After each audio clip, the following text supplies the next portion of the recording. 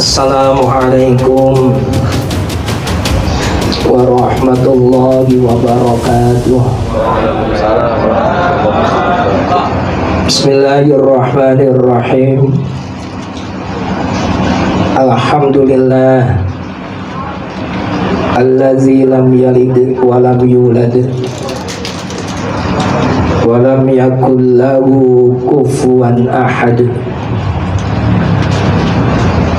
Allahumma salli wa sallim wa barik ala sayyidina Muhammad sahibil irsyad wa ala alihi wa ashabihi wa dhurriyatihi wa man tabi'ahum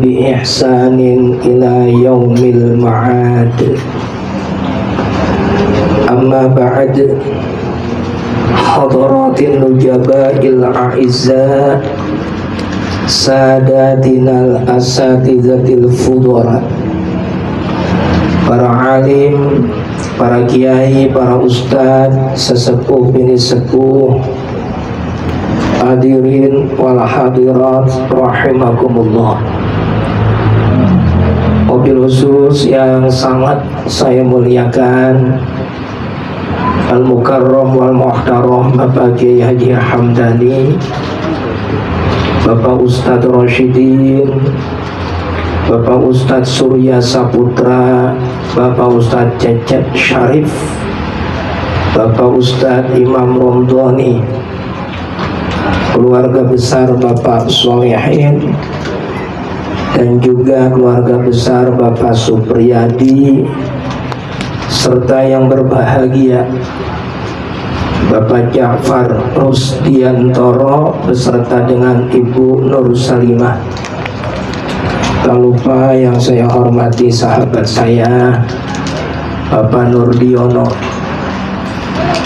Alhamdulillah Malam hari ini Kita dapat berkumpul Bermuajah Bersilaturrahim Dalam rangka Izharul farah was surur Menampakkan bentuk kebahagiaan dan kegembiraan atas anugerah yang diberikan Allah kepada Bapak Ja'far Rusdiantoro berupa seorang putra yang diberi nama Arsyaka Rusyanan Nawah. Ini bahasanya menarik ini saya berpikir keras ini artinya apa? Arsyaka itu artinya penuh merasa syukur. Merupakan bentuk kebahagiaan atas anugerah Allah. Maka dicurahkan dalam bentuk rasa syukur. Itu arti arsyaka rusyanan itu bentuk masdar dari fi'il madi. Rusya ya rusyu rusyan wa artinya banyak ada 10 arti. Di antaranya adalah pribadi yang dermawan. Mencurahkan apa yang dia miliki sebagaimana curahan hujan. Merata dirasakan kebahagiaan untuk sesama itu arti rusyanat kalau Noah ini mungkin ngambil dari grup musik yang vokalisnya bernama Bang Aril ya. Noah itu bahasa Yunani. Kalau bahasa Arabnya ya Nuh artinya kedamaian atau ketentraman. Saya nggak tahu ini. Bang Jafar ngasih nama tahunya apa kagak ini artinya.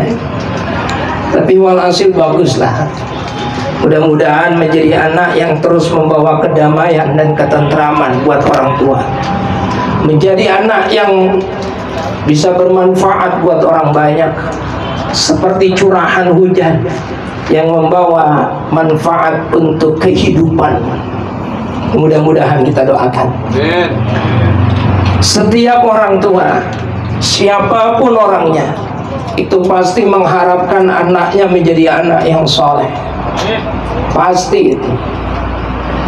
Bagaimana kiat kita agar menjadikan anak kita ini menjadi pribadi yang soleh.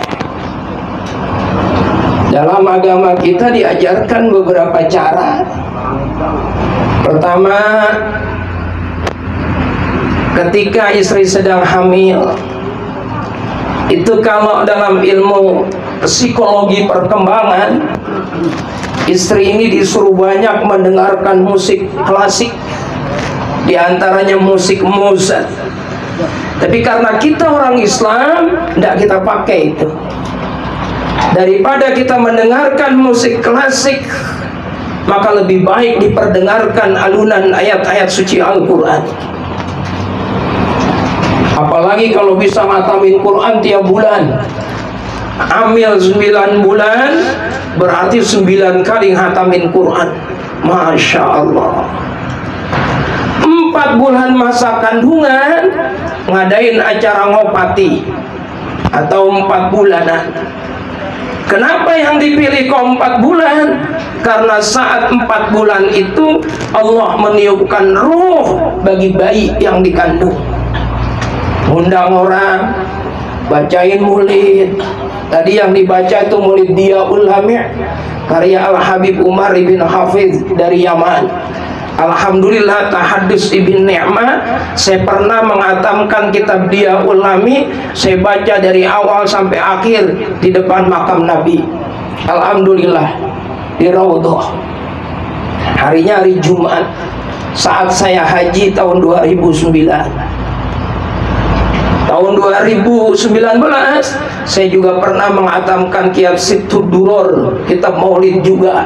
Walaupun tidak di makam Nabi tapi masih berada di kawasan Masjid Nabawi. Kemarin saya umroh tahun kemarin bulan Oktober dengan Bang Nurdiono juga ikut. Itu saya mengatamkan kitab maulid Syaraful Anam. Banyak maulid itu. Ada Al-Barzanji karya Ja'far Al-Barzanji ada Ad-Dibai karya Abdul Rahman Ad-Dibai dan banyak lagi yang lainnya kalau tadi yang dibaca dia ulami, betul ya? Karya Habib Umar Ibn Hafid. Empat bulanan undang orang baca murid. Biasanya yang dibaca itu surat Yusuf, surat Maryam. Kenapa yang dibaca surat Yusuf? Tafaulan mengharapkan agar anaknya menjadi pribadi seperti Nabi Yusuf. Berakhlak, afif terjaga dari perbuatan tercela berada dalam sebuah kamar dengan wanita tercantik memiliki martabat yang tinggi pangkat yang tinggi yang bernama Zulaikha. Yusuf yang digoda. Yusuf tak ada orang hanya kita berdua di tempat ini Jangankan manusia, cicak tidak bisa melihat perbuatan kita. Ayolah kita lampiaskan asrat kita. Kata Zulaikha. Tapi dengan Yusuf tegas menjawab apa? Ini akhafullah rabbal alamin. Maaf ibu, manusia boleh tidak melihat, cicak boleh tidak melihat, tapi pasti Allah akan melihat apa yang kita lakukan pada saat ini. Maaf, saya tidak berani kepada Allah Subhanahu wa taala. Nah, ini dibaca surat Yusuf biar anaknya seperti itu. Seperti napak tilasnya Nabi Yusuf. Niatnya jangan sampai salah. Kenapa ibu baca surat Yusuf? Biar anaknya ganteng kayak Nabi Yusuf. Kalau pengen ganteng lihat-lihat bapaknya. Baca surat Yusuf 21 kali kalau bapaknya begitu ya tetap begitu. Malah kalau kelewat ganteng tetangga curiga anaknya siapa ini sebenarnya. Jadi baca surat Yusuf agar anak ini memiliki kepribadian sebagaimana Nabi Yusuf. Digoda oleh Zulaikha, tapi dia berkata dengan tegas, "Ini akhafullah rabbal alamin." Kedua, kenapa dibaca surat Maryam? Di surat Maryam itu ada doa yang luar biasa. Fahabli min ladunka waliya. Yarisuni wa yarisu min ali Yaqub waj'alhu rabbi radiyya luar biasa bahasa Al-Qur'an. Nabi Zakaria berkata fahabli min ladunka waliya. Anugerahkanlah saya keturunan. Kata Nabi Zakaria setiap doa untuk anak di dalam Al-Quran itu rata-rata kalimatnya pakai habl. Fahabli min ladunka waliya. Pakai hab. Rabbana hablana min azwajina wa dzurriyyatina pakai hab. Rabbi habli minas salihin. Pakai hab. Kenapa tidak pakai atini? Misalnya begini kalimatnya. Fa'atini min ladunka waliya ya Allah berikanlah saya keturunan. Tidak bahasanya tidak fa'atini. Berikanlah. Tidak. Tapi bahasanya adalah fahabli. Anugerahkanlah saya keturunan. Sebab kalau pemberian ada kalanya cocok ada kalanya tidak cocok. Ada orang dikasih kacamata dari Perancis. Harganya 40 juta tapi yang dikasih kacamata orang yang tidak punya mata maka tidak ada gunanya kacamata itu ini namanya pemberian ada orang dikasih sepatu bola, sepatu bekas dipakai oleh Lionel Messi, pemain terbaik dunia. Apalagi dia pernah membawa Argentina menjuarai Piala Dunia. Berapa harga sepatunya? Tapi apa gunanya jika yang diberikan orang yang tidak memiliki kaki? Ini namanya pemberian. Tapi kalau anugerah, fahabli min ladunka waliya, tidak ada anugerah yang tidak cocok. Tidak ada anugerah yang tidak baik.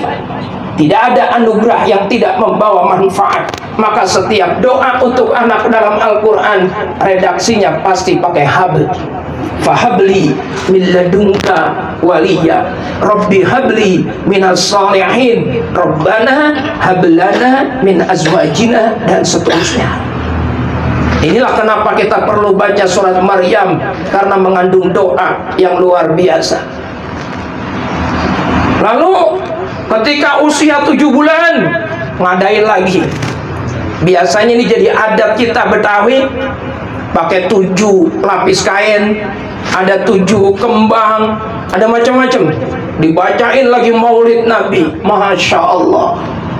Sampai sembilan bulan, ini ketika bayi Marho dilahirkan, dibacakan ayat Al-Quran terutama ayat kursi. Kenapa yang dibaca ayat kursi? Karena ini penentuan. Ada jin namanya Ummu Sibyan. Ketika bayi ini dilahirkan, terus orang tuanya tidak membaca ayat kursi, yang pertama kali nyusuin anak baru dilahirkan adalah jin yang bernama Ummu Sibyan. Ini bahaya. Dibacakan ayat kursi. Syukur-syukur dibacakan surat Yasin sehingga ketika bayi dilahirkan, jin yang bernama Ummi Sibian ini tidak akan bisa mendekati si bayi. Bagaimana kalau lahirnya sulit? Ada doanya. Doa yang diajarkan oleh para ulama Hannah waladat Maryam Maryam waladat Isa Ukhruj ayyuhal maulud Bikudratil malikil ma'bud Apalin doanya jadi kalau ada istri punya anak atau mantu yang mau lahirnya sulit, dibacakan itu tadi. Diambil air, lalu diusapin di perutnya. Terus diminumin sedikit. Insya Allah lahirnya akan gampang. Apa doanya? Hannah waladat Maryam. Hannah melahirkan Maryam dengan begitu mudah. Maryam waladat Isa. Maryam melahirkan Isa juga sangat mudah. Ukhruj al maulud. Keluarlah wahai jabang bayi.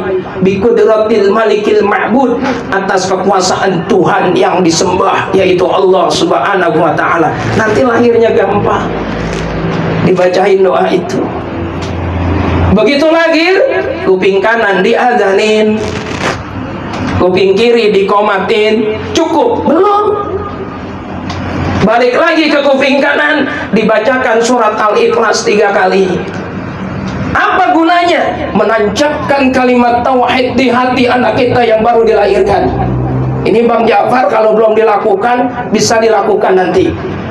Kuping kanan tentu sudah diajari, kuping kiri tentu sudah dikomati. Tapi balik lagi bacakan surat Al-Ikhlas tiga kali, menancapkan kalimat tauhid di hati anak yang baru dilahirkan.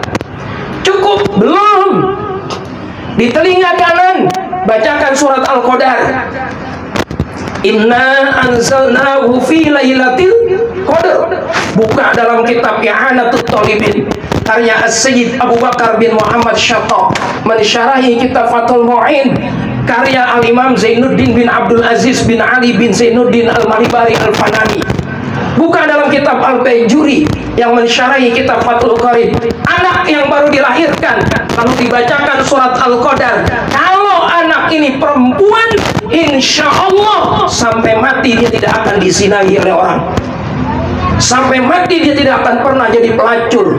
Sampai mati dia tidak akan pernah jadi perempuan yang tidak benar perempuan murahan tidak akan barokah surat Al-Qadar kalau anak ini laki-laki insya Allah sampai mati dijaga oleh Allah dia tidak akan pernah berzinah Fadilah surat Al-Qadar Kadang-kadang kita cuma tahu doang surat Al-Qadar, tapi nggak tahu hikmahnya. Ada berapa ayat surat Al-Qadar? Ada lima, ntar boleh dibuka jusnya jus 30. Ada berapa kalimat surat Al-Qadar? 30. Ada berapa huruf surat Al-Qadar?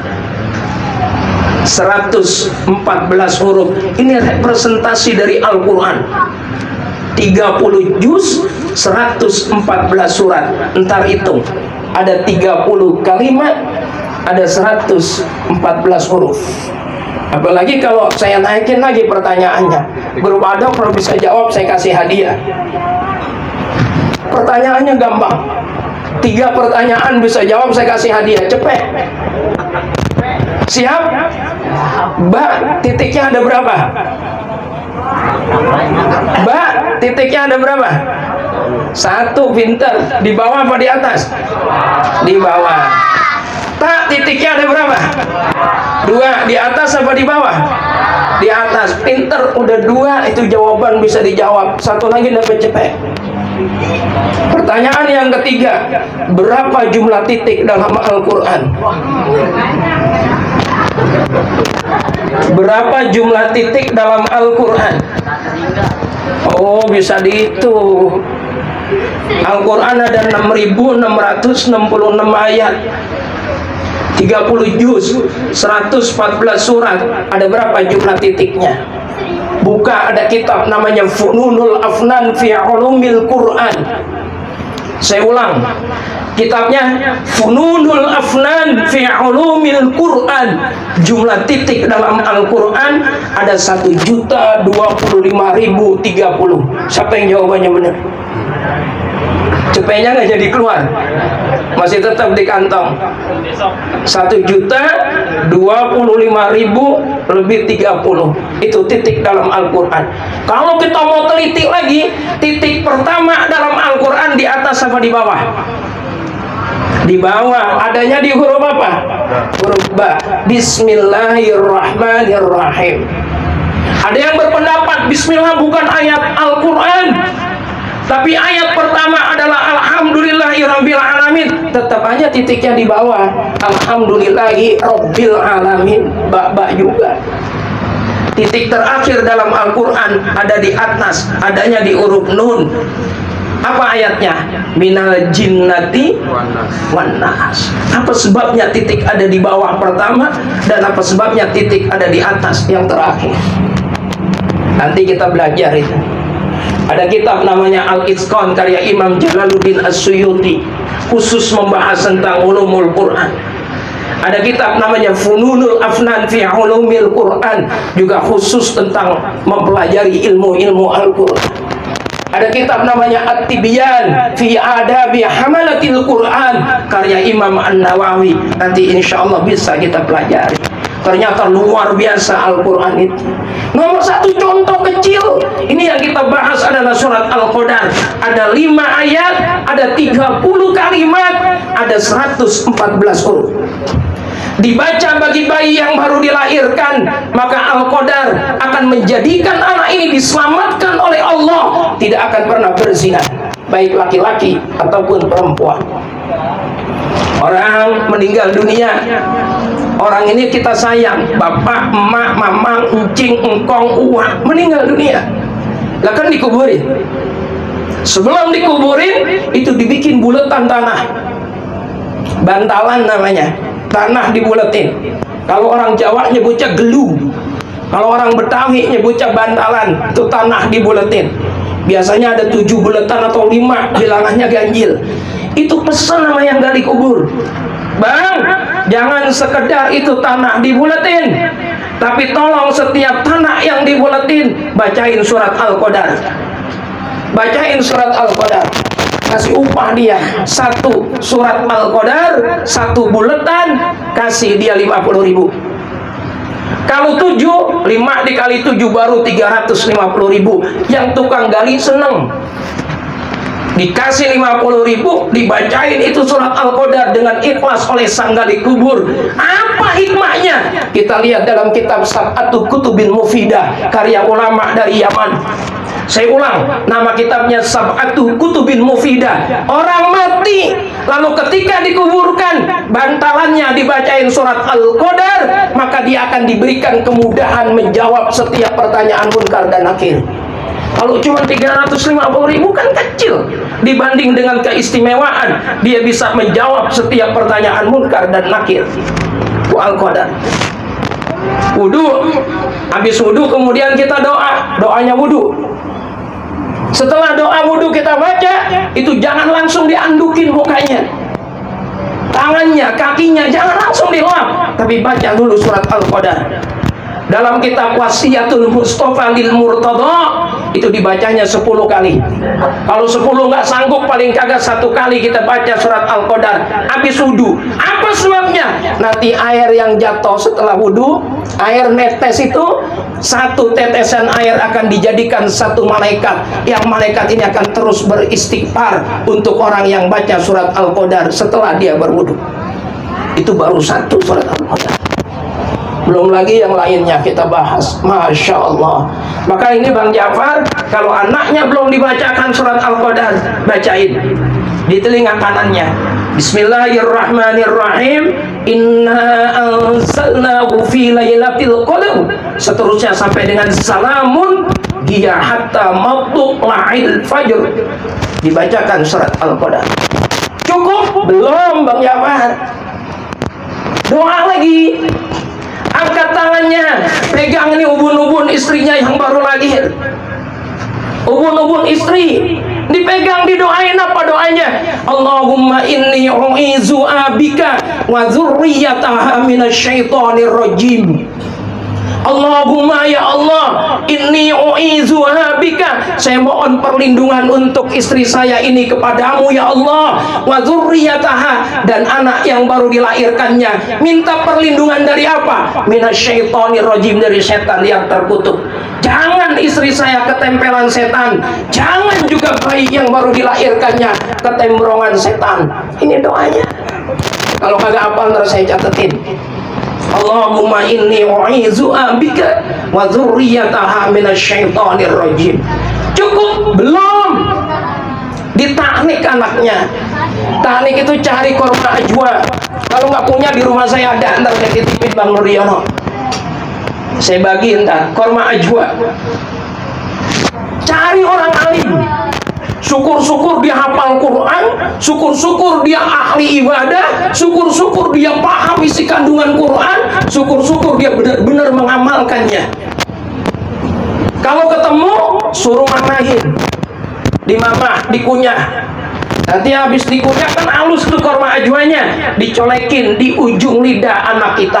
Apa fungsinya? Biar anak kita kalau ngomong enak, kagak suka menghujat, kagak suka mencaci maki, tidak suka mengardik, kagak jadi orang yang suka menghina sana dan sini. Yang keluar dari mulutnya adalah ucapan yang enak didengar. Yang keluar dari mulutnya adalah zikir kepada Allah. Yang keluar dari mulutnya adalah kalimat-kalimat thayyibah. Yang keluar dari mulutnya adalah ayat-ayat suci Al-Qur'an. Ini dilakukan oleh Nabi kita saat Hasan dan Husain lahir. Beliau mentahlib Hasan dan Husain. Kalau sulit zaman sekarang cari kiai yang begitu, yang benar-benar soleh, yang benar-benar zuhud, yang benar-benar mengamalkan ilmunya, maka boleh minta di mama sama ibu dari istri, nenek. karena doa ibu kepada anaknya itu sama dengan doa Nabi kepada umatnya minta dimamahin tahajud dulu, sholat hajat dulu, sholat taubat dulu, terus kemudian barulah dikunyah itu kurma ajuannya. Nanti dicolekin di bibir dan juga lidah anak kita. Masya Allah, ini ajaran indah dari agama kita. Cukup? Belum. Kasih nama, namanya cakep. Arsyaka Rusyanan Noah Cuma kalau kita rujuk kepada hadis-hadis Nabi, anak laki-laki itu paling cakep namanya diawali dengan Muhammad atau diawali dengan Abdul. Kalau Abdul, ingat-ingat ini, harus disanatkan atau diisnatkan kepada Asmaul Husna. Nggak boleh kalau nama Abdul disandarkan kepada bukan Asmaul Husna. Nggak boleh. Abdul Majid, Abdul Karim, Abdul Khair, Abdul Rahim, Abdul Latif, Abdul Jabbar, Abdul Kohar, Abdul Muhaimin. Ini nama-nama yang bagus. Abdul disandarkan kepada Asmaul Husna. Abdul Nurdiono nggak boleh. Kenapa? Karena bukan Asmaul Husna. Nabi kita, sahabat terdekat yang paling setia adalah Abu Bakar. Pertanyaannya, siapa nama asli Abu Bakar? Halo? Adik-adik, siapa nama asli Abu Bakar? Abu Bakar itu waktu baru dilahirkan nama aslinya Abdul Ka'bah. Abdul Ka'bah. Ka'bah kan bukan Asmaul Husna. Begitu Abu Bakar masuk Islam, diganti sama Nabi Abdullah, bukan Abdul Ka'bah. Abdullah. Abdul Bakir, Betawi banyak nama Abdul Bakir ganti aja Muhammad Bakir. Pertama Muhammad Bakir itu cucu Rasulullah. Beliau punya ayah Ali Zainal Abidin. Ali Zainal Abidin punya ayah Sayyidina Husain. Sayyidina Husain punya ibu Sayyidatina Fatimah. Sayyidatina Fatimah punya ayah namanya Sayyidina Muhammad sallallahu alaihi wasallam. Bukan Abdul Bakir tapi Muhammad Bakir. Kalau kita tidak dapat nama Abdul, pakai nama Muhammad.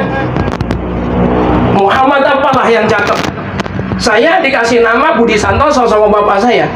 Tapi waktu saya haji tahun 2009 itu ditambahin nama Muhammad di depannya Muhammad Budi Santoso. Terus saya ngomong sama emak, "Mak, bikinin bubur putih mau bubur merah." Saya tambahin nama Muhammad. Bang Nurdiono juga saya tambahin namanya Muhammad Nurdiono. Cuman belum dia belum bikin bubur putih bubur merah. Tambahin. Mulia namanya. Tapi paling tidak artinya sudah bagus lah. Arsyaka Rusyanan Noah. Panggilannya apa ini? Arsya. Noah. Noah. Panggilannya Noah. Nuh. Ya Noah. Setelah dikasih nama, ya ini kita akikah. Alhamdulillah Al-gulamu murta'annan bi'aqiqatihi Hatta yuzbaha anhu yawma sabi'ihi Wa yu'laku rasuhu wa yusamma Bayi itu tergadai. Kata-kata tergadai pemahamannya begini Pak. Dalam kitab Kifayatul Akhyar Kalau kita punya anak Hujan. Enggak. Kalau kita punya anak Usianya belum balik.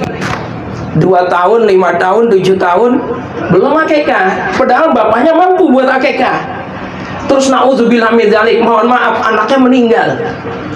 Anak ini kan pasti masuk surga pasti. Jangankan bayinya orang Islam bayinya orang kafir kalau dia mati masih saat bayi masih belum balik itu pasti masuk surga. Nabi yang bilang kullu mauludin yuyaduki kullu mauludin yuladu ala fitrah fa abawahu yu'awidanihi aw yunassiranihi aw yumajisanihi. Bayi yang dilahirkan itu suci mau bayinya siapa kek?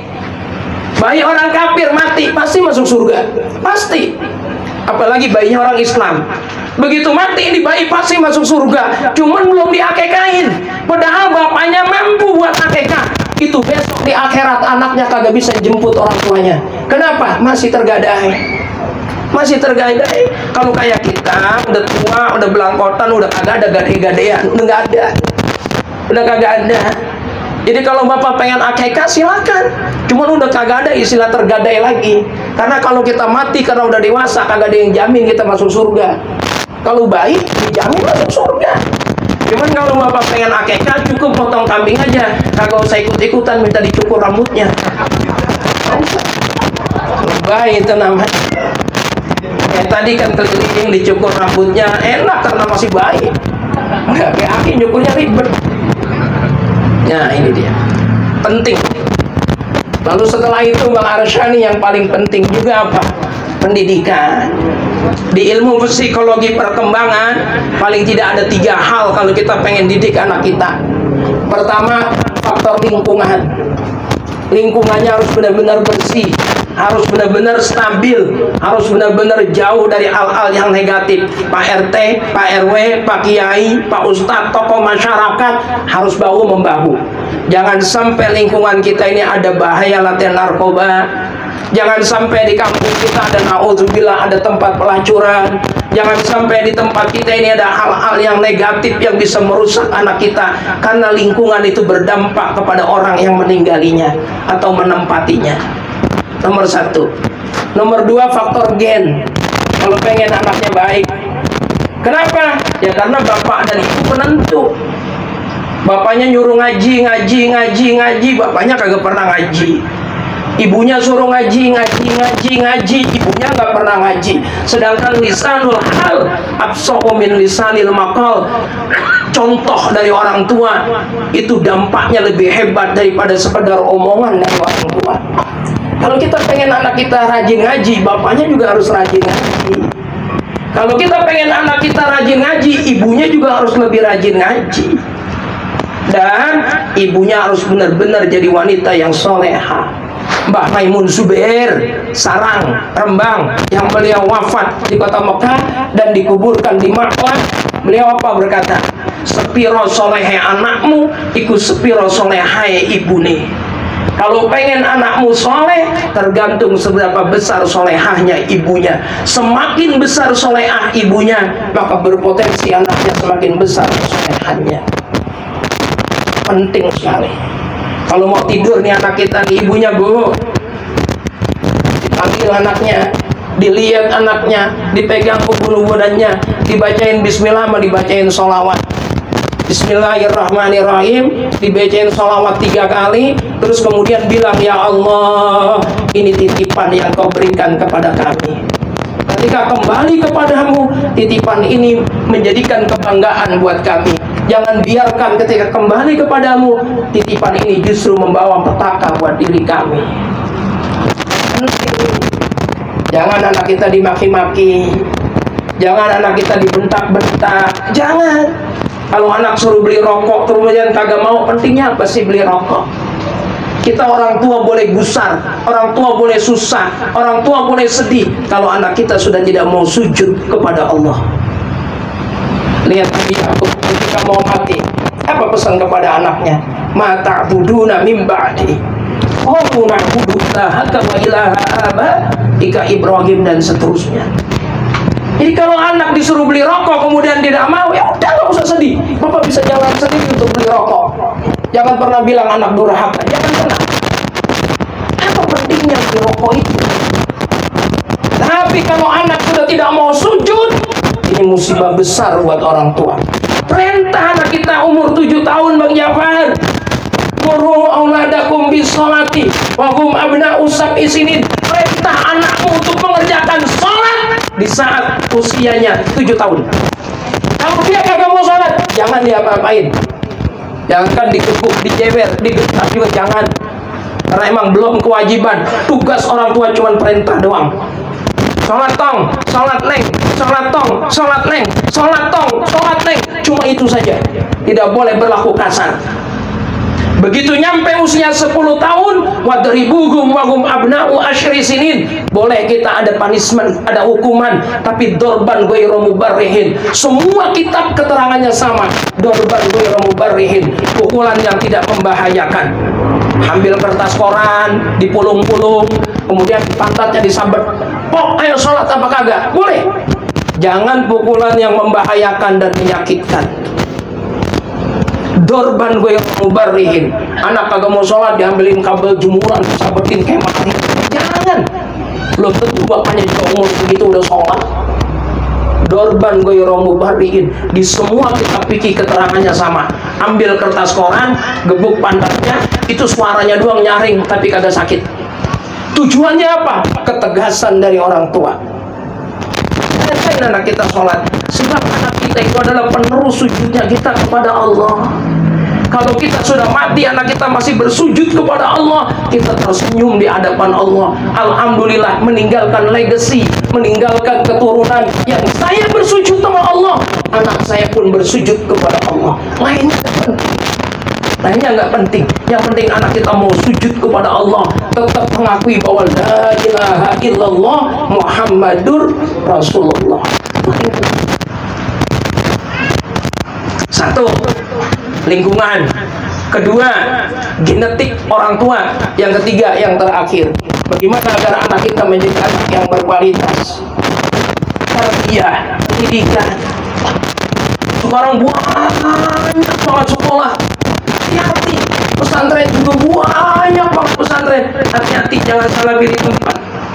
Masuk pondok pesantren wah sekarang pemiliknya lagi diperiksa sama baris krim malah salamnya salamnya. Saya nggak mau nyebut. Bapak-bapak semuanya udah tahu. Kalau nyebut jadi ngomongin orang kita. Karena semuanya udah ada di TV udah ada beritanya. Iya kan? Hati-hati. Jangan ngeliat fisik bangunannya doang keren, dalamnya apa? Jangan-jangan pondoknya Syiah lagi. Nauzubillah min Udah ada, ada. Masuk pondok pesantren, katanya doang tapi Quran. Uh, dalamnya Wahabi semua tidak boleh tahlil, tidak boleh murid, tidak boleh ziarah kubur, tidak boleh haul. Pulang, anak berantem lu kerjaannya sama bapak. Bapaknya demen tahlilan, mau biasa kalau pulang, anaknya kagak demen tahlilan. Berantem, bapaknya mau biasa bid'ah, sesat, ulama, bapak di neraka. Ya Allah, hati-hati. Udah banyak pendidikan. Cari yang benar-benar bisa membawa anak kita ini anak-anak yang berkualitas soleh tapi pahamnya harus tetap harus sunnah wal jamaah. Ikutin para habaib ikutin para ulama ikutin para kiai. Manittada aliman laki Allah hasaliman ikutin para ahli ikutin ulama ikutin ustaz ikutin kiai yang sangat keilmuannya sampai kepada Rasulullah maka dia akan selamat dunia akhirat paling penting. Apa tadi? Lingkungan orang tua dan juga pendidik. Di Bang Jafar harus benar-benar diperhatikan.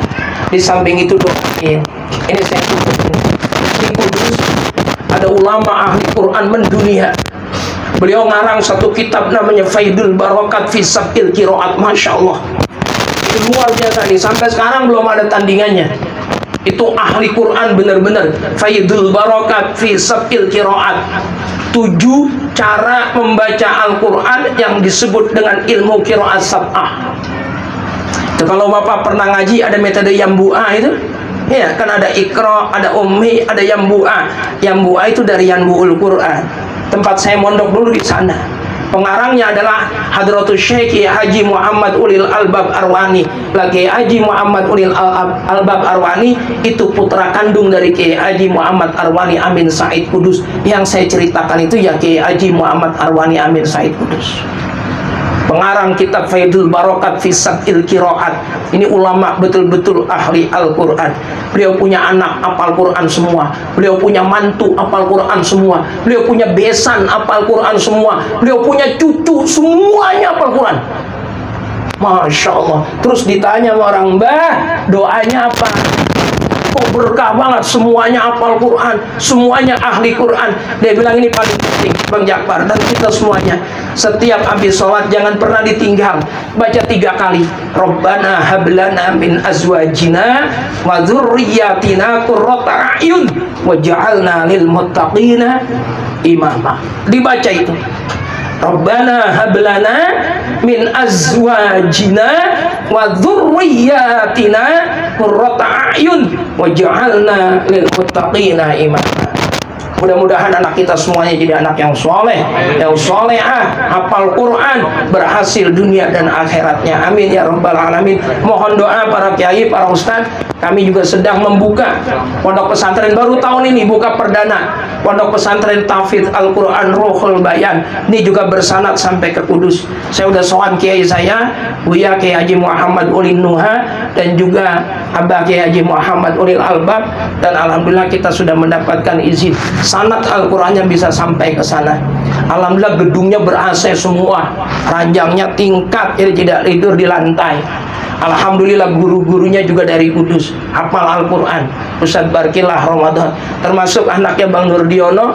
Danis insya Allah nanti termasuk bagian daripada santri. Tanggal 14 bulan Juli baru mulai santri datang Insya Allah saya mohon doa mudah-mudahan pondok ini membawa barokah. Dan satu lagi paling penting anak yatim gratis 100% anak yatim gratis 100% tidak keluar biaya apa-apa. Anak yatim. Karena saya anak yatim. Usia lima tahun bapak saya meninggal. Kalau bapak mau tahu Pak Jokowi itu suka masuk gorong-gorong bapak saya tukang bikin gorong-gorong. Bapak saya kuli bangunan kalau bapak saya nggak ada kerjaan bapak saya dagang es serut. Emak saya dagang bakwan dagang pecel. Tapi subhanallah anak kuli bangunan anak tukang pecel sekarang jadi kiai. Sekarang punya pesantren sekarang lagi ceramah di depan bapak-bapak. Kalau anak penjual pecel kalau anak kuli bangunan bisa maka anak bapak-bapak juga pasti bisa. Yakin? Yakin bahwa anugerah Allah itu luas. Oleh karena itu saya mohon doa anak yatim kita gratisin semuanya 100% gratis. Sekolahnya, pondoknya, makannya, seragamnya, bukunya semua anak yatim kita gratisin. Kalau dari sini mau mondok anak yatim silakan. Silakan gratis 100% kalau ada anak yatim yang dari sini. Ya kalau punya bapak boleh. Boleh. Tapi bayar punya bapak masa punya bapak digratisin kesian ntar dianggap anak yatim. Nah jadi ini penting. Saya mohon doa dari para kiai para ustaz. Mudah-mudahan diridhoi Allah subhanahu wa ta'ala. Dan pembangunan pondok ini sudah lebih dari 4 miliar kita bangun. Tidak ada serupiah pun dari uang partai. Tidak ada serupiah pun dari uang pemerintah. Tidak ada. Sampai detik ini tidak ada. Sampai detik ini tidak ada.